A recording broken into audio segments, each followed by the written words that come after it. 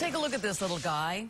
It's not just your ordinary kitten. He's a bobcat and he's an orphan. His mom was killed by a car in Lakeland a couple of weeks ago. And now rescuers are looking for him to try to make sure he survives because he needs some help. Rescuers believe he's still in that area near Harden Boulevard, which is where Fox 13's Ken Suarez is this evening. And Ken, first let me ask you, did they ever capture him or has he been out there since his mom died? He's been out here, and as a matter of fact, we're talking about him. We don't know if he's a boy or girl, and we're assuming there's only one. There could be more than one out here. Bottom line is this. We don't know how long he or they are going to last a day, two days, maybe even a week without any help, because at that age, they can't do an awful lot for themselves. What we do know is the bottom line is that the longer he is out here or they are out here, the less likelihood they're going to survive. The life or death search is on. The SPCA setting more than a dozen traps.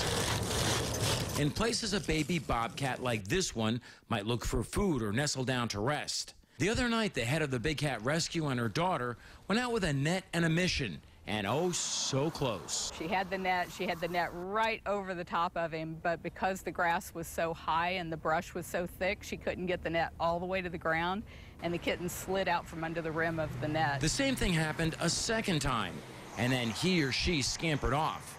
The elusive little rascal is a few months old, savvy enough to fend for himself for a short time, but not for long. He still needs to nurse off his mom. He may be able to find food on his own, but if, you know, if we don't catch him soon, you know, his chances are going down and down. Because he could easily become a coyote's dinner. He began wandering after his mother was killed by a car on Harden Boulevard about two weeks ago. He's hung around long enough to have his picture taken, then quickly disappears. As Vicki O'Neill was driving along with her grandkids, she spotted him and shot this video. I think it was a once in a lifetime experience. I've always been an animal lover.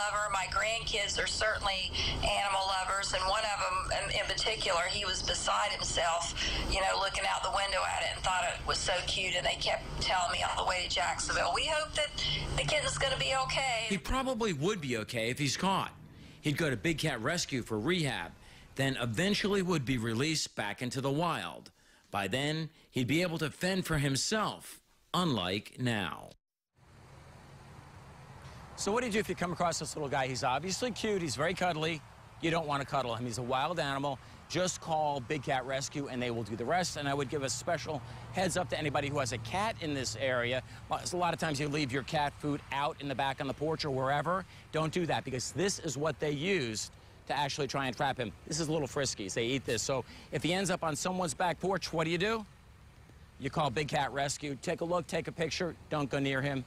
He is a wild animal, even though he is the cutest little thing on earth. Of course, of course, yeah. And leave it up to the experts, and let's do hope that they find yeah. him and they'll let us know, and maybe we have a happy ending. We sure would like to have one. Thank you, Ken.